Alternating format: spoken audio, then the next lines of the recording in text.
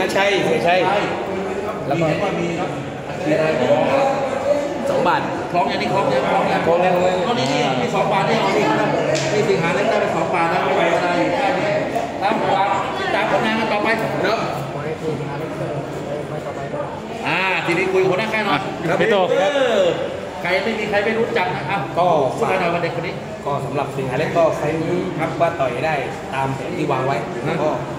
ต้องพัฒนาเรื่องความอื่นเพราะว่าเราเราอยู่ไปนานครับผมก็ถือว่าเด็กต่อยได้ตามฟอร์มก็พอใจระดับหนึ่งก็เหลือ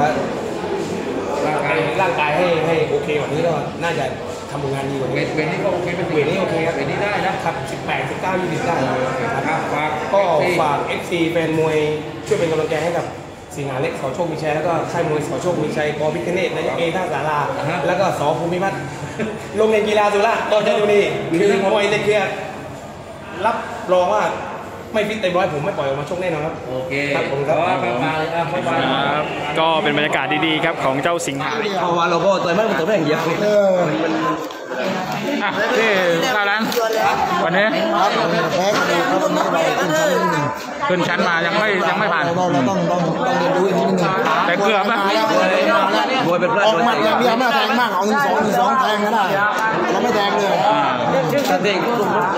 แหมมีเซฟไปแล้วซ้อมแล้วก็ต้องมันเดี๋ยวไม่แทเข้างข้างไม่นะตรงไม่เอาเข้าเลยมันทำไม่อย่างเดียวนะมีคนเข้าเด็กก็ได้ขาเจ็บขาแต่ย เจ็บ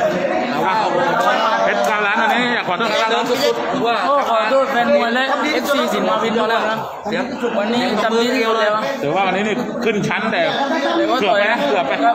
เกือบไปวันนี้ทำดีนี่มีคนบอกว่าเสียตังค์ก็ไม่เป็นไรวันนี้ต่อยได้ดีมากต่อยแบบนี้